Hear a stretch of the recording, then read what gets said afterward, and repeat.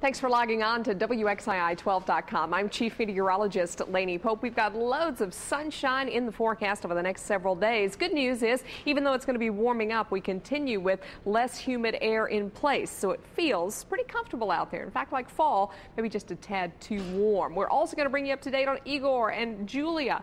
Both of these storms still churning out over the open waters of the Atlantic. For tonight, we've got a pleasant forecast for you. Few thin clouds, otherwise clear. Tomorrow, it is warm warming with temperatures approaching 90 degrees. High pressure overhead will keep things dry again.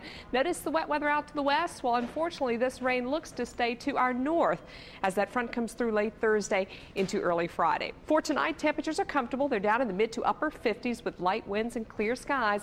Lots of sun in your Wednesday forecast with a high of 89 in the Piedmont. You can get a more detailed forecast and a look at the tropics by watching us on WXII 12 News or by logging on here at WXII12.com.